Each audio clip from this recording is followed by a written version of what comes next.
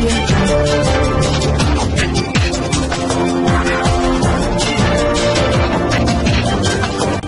भारत केवल खबरें और कुछ नहीं।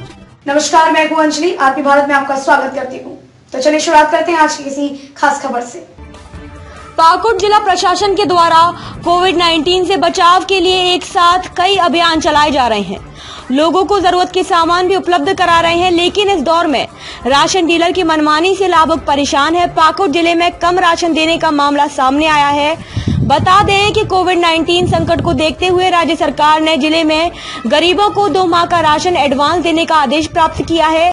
चिंगाडांगा पंचायत के आटोगोली गाँव के रिना स्वयं सहायता समूह के द्वारा चावल वितरण के दौरान चावल की कटौती को लेकर कार्डधारियों ने डीलर के समक्ष प्रदर्शन किया।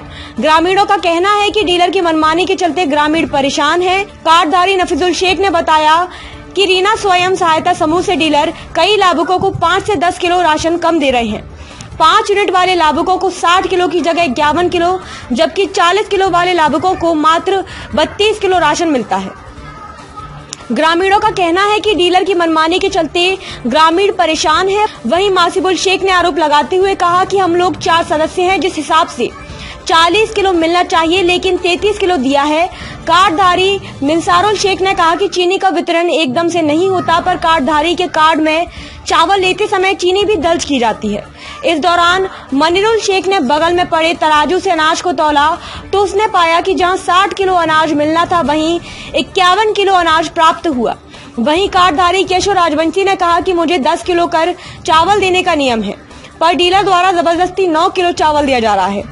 इस संबंध में जब रीना महिला स्वयं सहायता समूह के अध्यक्ष हसीदा बीवी उर्फ रंगीला बीवी व सचिव रेशम बीवी से बात की गई तो उन्होंने कहा कि सरकारी चावल के बोरा के चलते लाभुकों के हिस्से से काट रहे हैं वहीं वीडियो में साफ दिख रहा है कि एक वृद्ध आदमी इस चीज का विरोध कर रहे हैं पर डीलर द्वारा उसको जबरदस्त कम चावल थमाया जा रहा है পঁয়ত্রিশ কেজি চালে তেত্রিশ কেজি চাল দিচ্ছে তেত্রিশ কেজি চালের মধ্যে পাঁচ কেজি চাল কম ন কেজি করে চাল তো আমরা বুঝি দিব না দশ কেজি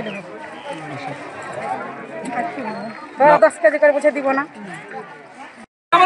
তিরিশ কেজি লেখছে আর পঁচিশ কেজি দিলে তিনটা লোকের।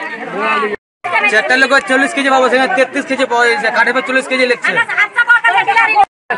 পাঁচটা লোক পঁচিশ চাল পেয়ে তো চব্বিশ কেজি দেওয়া হয়।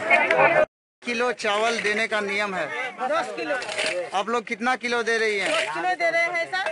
तो बोरा को घट जा रहा है तो हम उन लोग का हाथ पाव जोड़ करके हम बोल रहे हैं कि कुछ हम लोग को दो। अच्छा। ऐसा करके हम लोग बांटते हैं इसे। तो कितना कल कितना काटती हैं अभी? कितना काटते हैं? पाँच चार सौ गोली काटते हैं। एक आदमी का कितना काटती है आप लोग? माथा पे चार सौ पाँच सौ कर रहे हैं सर। अच्छा अच्छा